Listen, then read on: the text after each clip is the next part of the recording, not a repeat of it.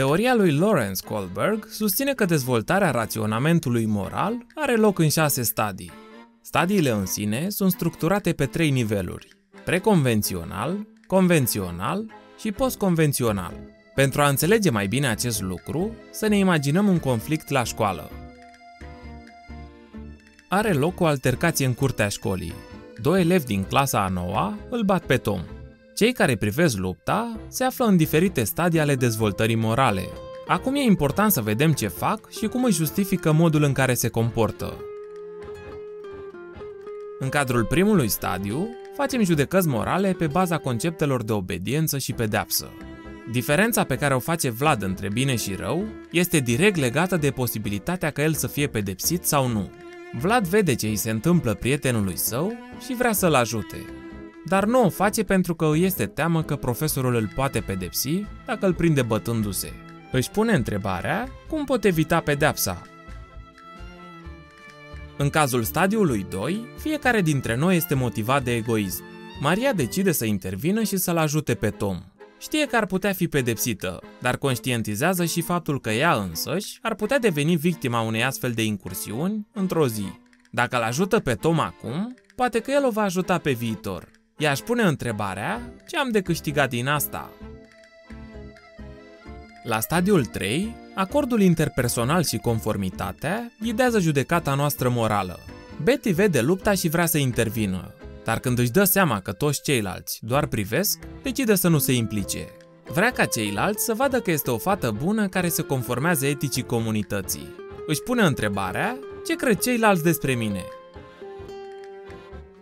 La stadiul 4, valorificăm autoritatea și vrem să menținem ordinea socială. Când profesorul vede grupul luptând, intervine imediat și strigă Opriți-vă! Lupta în școală este interzisă! Simte că mai presus de toate, este important să urmăm regulile. Altfel, se instaurează haosul. Mai mult, crede instinctiv că e datoria lui să mențină regulile care susțin o societate funcțională. Își pune întrebarea, cum pot menține legea și ordinea? La stadiul 5, înțelegem regulile ca un contract social, nu ca o comandă strictă. Jessica, care privește de departe, nu e sigură cum se simte în legătură cu asta.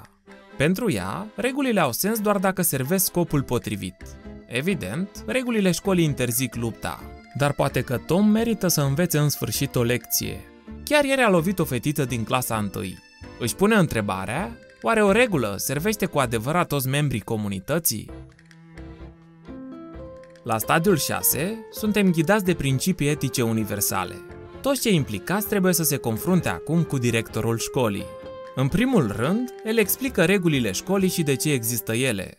Apoi clarifică că regulile sunt valabile doar dacă sunt fundamentate în cadrul justiției. Angajamentul față de justiție implică obligația de a ne socoti regulile nedrepte. Cel mai înalt principiu moral al directorului este compasiunea. El crede că toți oamenii ar trebui să învețe să înțeleagă punctele de vedere ale celorlalți și să nu se simtă singuri cu sentimentele lor.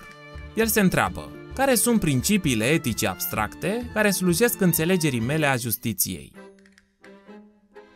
La nivelul preconvențional, Vlad este condus de frică, iar Maria de egoism.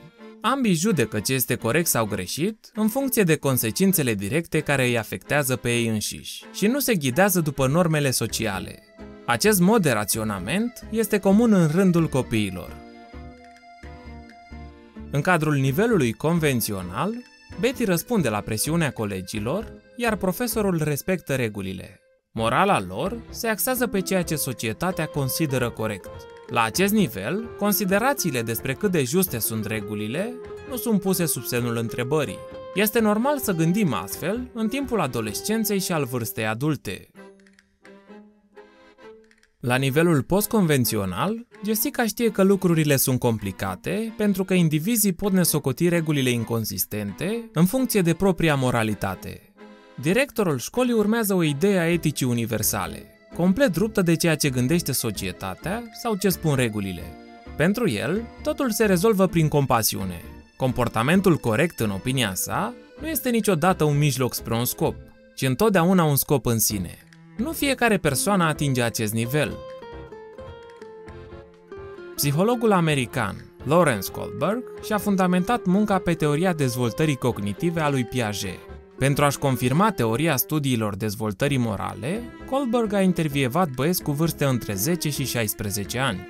A analizat modul în care aceștia justificau deciziile atunci când erau confruntați cu diferite dileme morale ipotetice. Vom prezenta acum cea mai faimoasă dilemă morală pe care Kohlberg a prezentat-o elevilor săi. În continuare e interesant să vedem și cum ați judeca voi. Dilema lui Heinz O femeie era pe patul de moarte. Exista un singur medicament care, conform medicilor, ar fi putut să o salveze. Farmacistul care făcea acel medicament îl vindea cu un preț de 10 ori mai mare față de costurile de producție. Soțul femeii bonlave, Heinz, era sărac și nu-și permitea să cumpere medicamentul, nici măcar cu ajutorul financiar al prietenilor săi. Heinz l-a rugat apoi pe farmacist să îl vândă la jumătate din preț, dar acesta a refuzat. Pentru a-și salva soția, Heinz a intrat în laboratorul farmacistului și a furat medicamentul. Acum spuneți-ne, ar fi trebuit Heinz să fure medicamentul?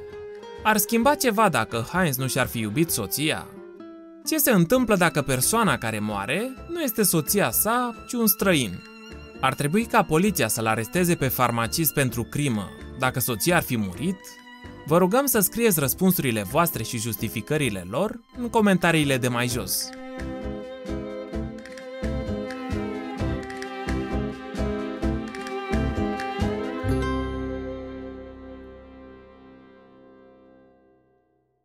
Dacă ți s-a părut util, vizionează și celelalte videoclipuri ale noastre și abonează-te. Dacă vrei să ne susții munca, alătură-te nouă pe patreon.com sprouts. Pentru mai multe informații și conținut suplimentar, vizitează sproutschool.com.